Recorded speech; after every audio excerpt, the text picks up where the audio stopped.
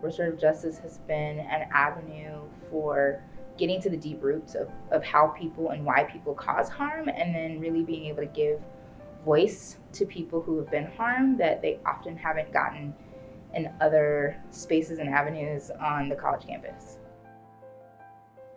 I think first and foremost, the goal of these trainings is to help professionals experience restorative practices, to get a felt sense of what it means to sit in circle, to talk about harm, needs, and solutions, to really experience it.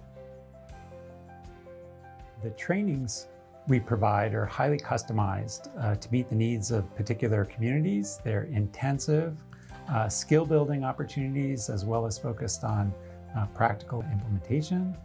And our training team are made up of practitioners, people with uh, long experience with uh, facilitating restorative processes.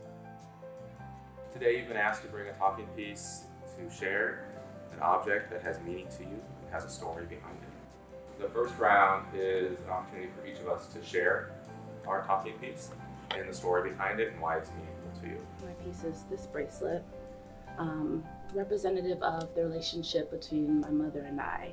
The reason that I chose to bring a magnet is because my husband and I love to travel. And so every time we go to a new country, we bring back a small magnet, um, and you'll see them on our refrigerator. Thank you for bringing these stories and these objects to our circle today. Um, the second round is an opportunity to, to honor those stories and, and reflect back some of the details of those stories and make a connection with those stories.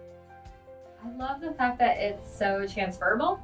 I think that these processes, the circles, um, the conferences can all be used for multiple facets.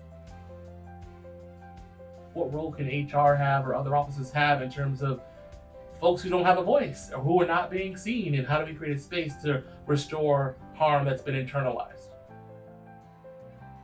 We can do it, schools are doing it. It's not that intimidating. It's going to increase retention. It's going to increase a sense of belonging and community on campus. I now have been converted to think this is something that we absolutely need to do on our campus. I just encourage people to try it. Try those RJ circles at orientation. Try RJ circles for those floor meetings in, in residence halls. Try RJ circles in your classroom and give people the opportunity to give voice to their experiences, to their concerns, to their needs, and allow people to collaborate and to problem solve. Um, and I think people will be pleasantly surprised by the changes that they see.